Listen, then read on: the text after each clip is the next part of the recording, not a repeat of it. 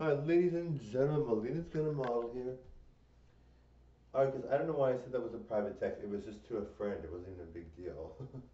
Alright, but I was talking about it like, because I was like, I'm just gonna send a text while I'm on while I'm on here, and then I'm like, I'm like, well, it's a private text. I'm not gonna say what I'm sending because nobody does that.